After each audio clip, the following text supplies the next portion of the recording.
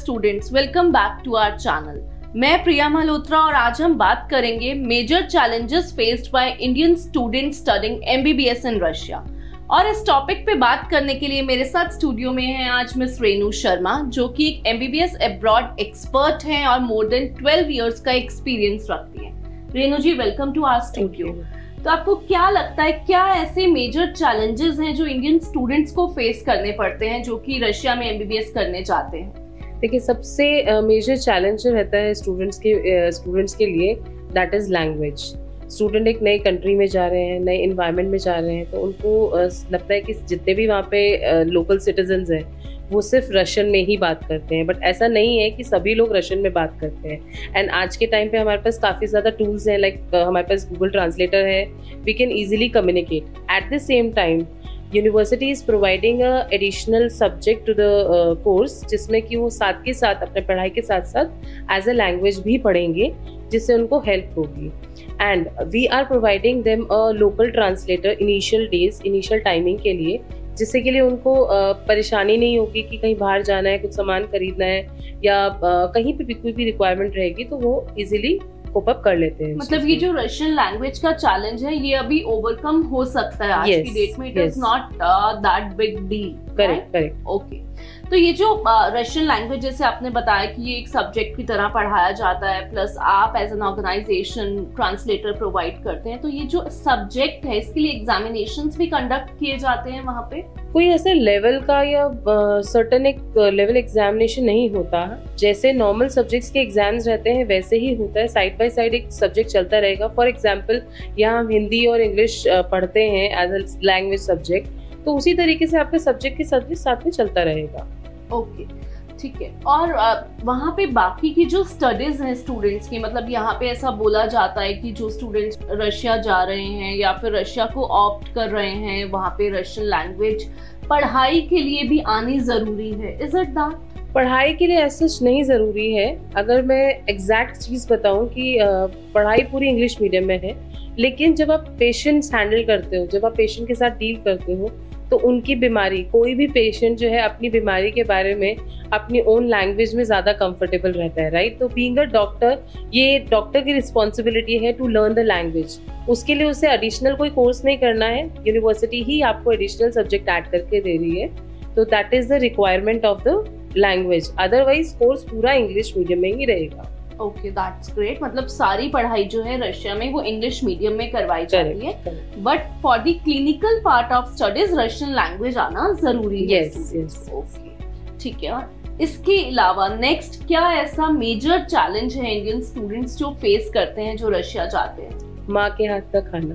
Oh that's the only thing that is yes वो सबसे ज़्यादा मिस करते हैं जो उनको वहाँ पर हम लोग कोशिश करते हैं जो हमारी देसी दिल की रसोई है हमारी यूनिवर्सिटीज़ में जहाँ पे हम इंडियन फ़ूड उनको प्रोवाइड करते हैं उससे वो थोड़ा सा ओवरकम कर लेते हैं।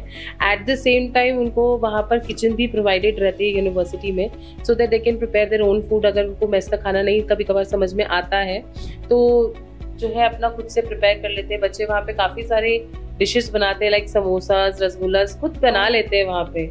तो they don't have any problem अभी। पहले थोड़ा प्रॉब्लम आता था बट अब जब से वहाँ पे मेस का अरेंजमेंट्स है मतलब हमारी रसोई का अरेंजमेंट है तो तब से उनको ऐसा कोई प्रॉब्लम आता नहीं है। ओके okay, uh, जो स्टूडेंट्स खुद से वहाँ पे खाना कुक करना चाहते हैं उनके लिए मसाले और ये सब चीज़ें कैसे अरेंज होती हैं देखिए नॉर्मली स्टूडेंट यहाँ से कैरी कर लेके जाते हैं। स्टूडेंट्स मसाले यहीं से कैरी करके लेके जाते हैं। ये मिथ है कि स्टूडेंट्स यहाँ से मसाले कैरी करके नहीं लेके जाते अचार कैरी करके नहीं लेके जा सकते लेकिन नहीं। रशिया में आप जो भी लेके जाना चाहें खाने के आइटम वो लेके जा सकते हैं। इवन वहाँ पर काफ़ी सारी सिटीज़ में आपके मसाले भी मिल जाते हैं और वो आप हमारे लोकल जो हमारे रिप्रेजेंटेटिव हैं उनसे पता करके ले सकते हैं। Okay other than that suppose बच्चे बाहर खाना चाहते हैं तो वहाँ पे इंडियन रेस्टोरेंट्स अवेलेबल रहते हैं yes, रशिया में या नहीं? यस yes, रहते हैं। और इंडियन रेस्टोरेंट में मैक्सिमम इंडियन ही नहीं रशियंस भी खाने के लिए आते हैं because they have you know good taste क्योंकि हमारे मसाले काफ़ी अच्छे उनको एरोमेटिक लगते हैं तो रशियंस भी वहाँ पर आकर uh, खाना खाना पसंद करते हैं। ओके रेनू जी तो अभी तक हमने बात की दो मेजर चैलेंजेस की पहला रशियन लैंग्वेज एंड दूसरा माँ के हाथ का खाना that is the Indian food इसके अलावा और क्या ऐसे मेजर चैलेंजेस इंडियन स्टूडेंट्स वहाँ पे फेस करते हैं? Uh, इसके अलावा एक uh, काफ़ी ज़्यादा मेजर चैलेंज है दैट इज़ क्लाइमेट बहुत बहुत बहुत ज़्यादा ठंड होती है एग्जैक्टली exactly. लेकिन उसके लिए uh, बच्चे इंजॉय भी करते हैं अगर एक बार देखा जाए क्योंकि हम भी अगर अपनी बात पे भी देखें तो हम घूमने जाते हैं तो जहाँ पे स्नोफॉल्स होती हैं तो हम वहीं पे ज़्यादा पसंद करते हैं। तो students love that you know environment climate उनको पसंद ज़रूर आता है, लेकिन उनको कुछ जो है चीज़ें ध्यान में रखनी होती है जब वो उधर रहते हैं। इसी वजह से हम लोग स्टूडेंट्स को पहले जाने के लिए एडवाइस करते हैं, जिससे कि वो उस क्लाइमेट को अडेप्ट कर पाए। अडेप्टेशन बहुत ज़रूरी है। At the same time university hostel departmental store सब कुछ आपका सेंट्रलाइज ईटिंग सिस्टम है। तो बच्चे को एज सच अगर आप अंदर हॉस्टल में हैं या यूनिवर्सिटी में हैं तो आपको प्रॉपर कवर अप होने की ज़रूरत नहीं है राइट हम नॉर्मल जैसे अभी हैं वैसे ही हम लोग अपना घूम फिर सकते हैं। लेकिन जब आपको एक जगह से दूसरी जगह ट्रांसपोर्ट लेना होता है at that time you have to make sure कि आप प्रॉपरली कवर्ड हैं प्रॉपरली जैकेट्स बूट्स वगैरह डाले हुए हैं। तो उसके लिए हम लोग स्टूडेंट को गाइड करते हैं जाने से पहले हम लोग उनको गाइड करते हैं कि आप जितने भी वार्म क्लोथ्स हैं लाइक जैकेट बूट्स हैं आप वहीं से ही परचेज करें। बिकॉज़ तो, वो वहाँ exactly, exactly. बने तो वो उनको ज़्यादा ईजी हो जाता है।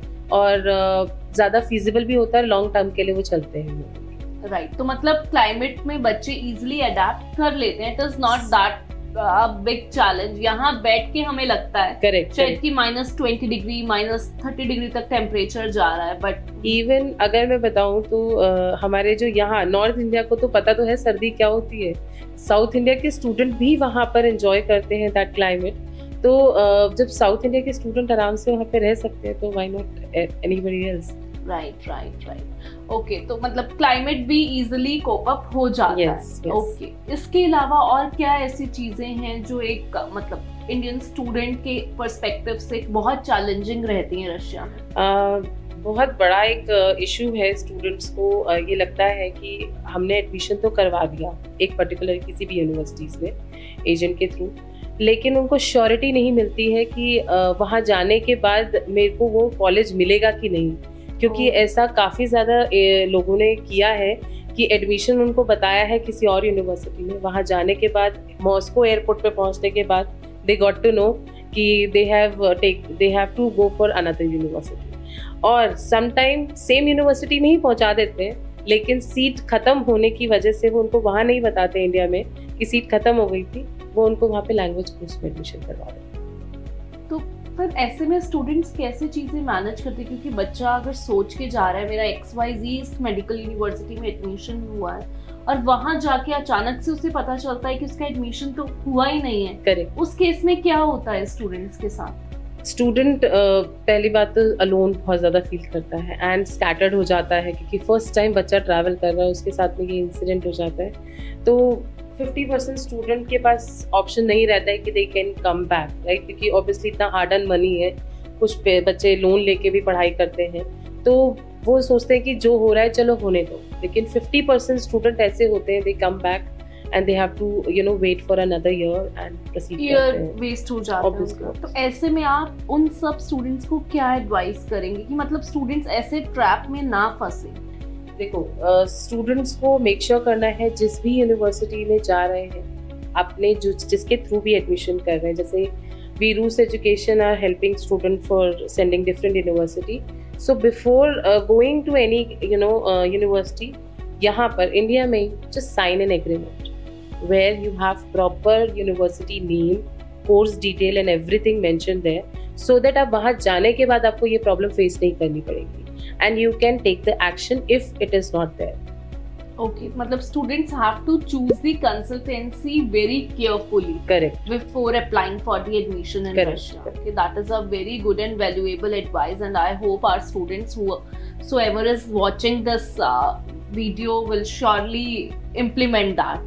Okay other than that any other challenges that you feel the indian students have to face actually students uh, को वहाँ पे जाने के बाद ना मतलब कई सारे स्टूडेंट से ये पता लगता है कि हमें हॉस्टल में जगह नहीं मिलेगी राइट right? हमें बाहर रहना पड़ेगा। एकोमोडेशन एकोमोडेशन का राइट right, करेक्ट तो uh, उनको ये कंसर्न बहुत ज़्यादा मेजरली पेरेंट्स को कंसर्न रहता है कि uh, बच्चा बाहर कैसे रहेगा? रहना सेफ़ भी है कि नहीं है? तो उस केस में हमें ये पहले से ही चेक कर लेना चाहिए कि जिस यूनिवर्सिटी में एडमिशन ले रहे हैं क्या वहाँ पर हॉस्टल की सुविधा है कि नहीं है? Right right? अगर वहाँ पर हॉस्टल फैसिलिटीज़ नहीं है तो please avoid that particular university because काफ़ी सारी यूनिवर्सिटी हमने ऐसा देखा है मतलब बहुत सारे वेस्टर्न कंट्रीज़ में जो है स्टूडेंट्स बाहर रहते हैं। तो ऐसे में मतलब what is the issue if they stay outside of the hostel यहाँ पर आ जाता है थोड़ा सा सेफ्टी का कंसर्न भी राइट बिकॉज़ स्टूडेंट्स अगर बाहर रह रहे हैं राइट तो who will be taking care of them will be taking a responsibility of those students कौन लेगा? क्योंकि अगर बच्चा हॉस्टल में है तो हॉस्टल के जो वार्डन्स है they are taking care of the students उनको पता है इतने स्टूडेंट इतने बजे आ रहे हैं हॉस्टल में, इतने बजे जा रहे हैं और कौन कौन हॉस्टल में रह रहा है। लेकिन अगर बच्चा बाहर रहता है राइट अगर उसको बाई चांस कोई प्रॉब्लम फेस करता है वो तो who will be taking care of okay thank you Renu ji आज आपने जो मेजर चैलेंजेस बताए प्लस आपने हमें बताया कि स्टूडेंट्स उनको कैसे ओवरकम करते हैं। तो मैं एक बार सम अप कर देती हूँ हमारे स्टूडेंट्स के लिए। फ़र्स्ट चैलेंज जो हमने बात की that was of the Russian language तो रशियन लैंग्वेज बिल्कुल भी चैलेंज नहीं है इंडियन स्टूडेंट्स के लिए, क्योंकि वहाँ पे सारी पढ़ाई आपके इंग्लिश मीडियम में होती है। रशियन लैंग्वेज आपको एक सब्जेक्ट पढ़ाया जाता है और आजकल के टाइम में टेक्नोलॉजी के थ्रू गूगल ट्रांसलेटर्स अवेलेबल हैं तो आप लोग इजीली कुछ भी ट्रांसलेट कर सकते हैं। सेकंड हमने बात की फ़ूड की। तो इंडियन मेस वहाँ पे बहुत सी यूनिवर्सिटीज में अवेलेबल हैं तो आपको अपना जो डिसीज़न है to choose a medical university in Russia बहुत ही वाइजली लेना है।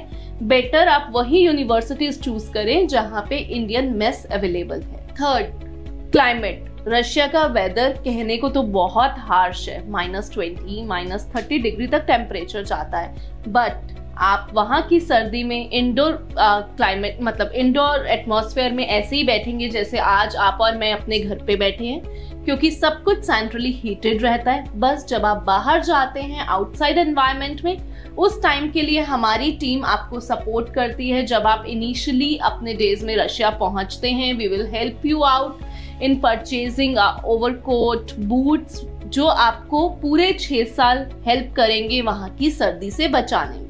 नेक्स्ट हमने बात की जो एक चैलेंज रेनू जी ने हमें बताया that is of accommodation Russia में बहुत सी यूनिवर्सिटीज ऐसी भी हैं जिसमें हॉस्टल फैसिलिटी अवेलेबल नहीं है इंडियन स्टूडेंट्स के लिए। तो आपको ऐसी ही यूनिवर्सिटी अपने लिए चूज़ करनी है जहाँ पे हॉस्टल फैसिलिटी अवेलेबल हो। बिकॉज़ ये आपके लिए और आपके पेरेंट्स के लिए आपकी सेफ्टी बहुत बहुत मैटर करती है। Last but not the least जिस भी कंसल्टेंसी से आप अपना एडमिशन करवा रहे हैं choose it very very wisely the reason being आजकल मार्केट में बहुत से फ्रॉड हो रहे हैं। आपको यहाँ से बोला तो जाएगा कि आपको एक्स वाई जी आपकी पसंदीदा यूनिवर्सिटी में एडमिशन करवा दिया गया है। बट वहाँ जाकर आपको पता चलता है कि no nobody is there to take you ahead from Moscow ऐसा भी होता है स्टूडेंट्स के साथ कि यूनिवर्सिटी पहुँचा दिया जाता है बट लैंग्वेज कोर्स में एडमिशन मिलता है. तो ऐसे किसी ट्रैप में आप ना फंसे और अच्छे से वेरीफाई करके ही एडमिशन लें एक ऑथेंटिक कंसल्टेंट के थ्रू सो आई होप जो भी पॉइंट्स पे आज हमने इस वीडियो में बात की, उन सबको ध्यान में रखते हुए आप अपने लिए एक top Russian government medical university choose करेंगे और एक करेक्ट एजेंसी अपने लिए चूज़ करेंगे to process your admission in case अगर आप डिटेल में बात करना चाहते हैं, इन पॉइंट से रिलेटेड तो आप कॉन्टैक्ट कर सकते हैं हमारे student helpline number one eight double zero eight double three double three three eight पर। हमारे काउंसलर्स आपको अच्छे से गाइड करेंगे और हम मेक श्योर करेंगे कि आपको एक अच्छी और टॉप गवर्नमेंट मेडिकल यूनिवर्सिटी में ही एडमिशन मिले। Thank you